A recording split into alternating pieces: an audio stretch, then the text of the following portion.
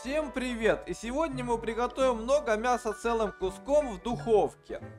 Для приготовления нам понадобится свинина, у меня балык, чеснок, душистый перец, сушеный имбирь, перец горошком, сушеный чеснок, лавровый лист и горчица.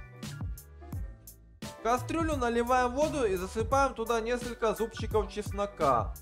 Добавляем душистый перец, черный перец горошком и помешать несколько лавровых листьев. Треть чайной ложки молотого сухого имбиря. 3 столовых ложки соли.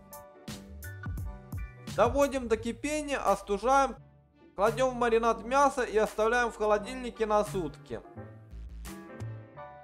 Обмазываем мясо горчицей и можно еще смазать маслом, чтобы оно не пригорело. Ставим в духовку на 220 градусов на полчаса.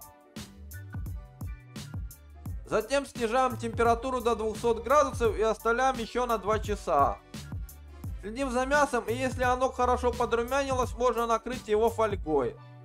Получается очень много вкусного мяса, которое подойдет вместо шашлыка. Всем приятного аппетита!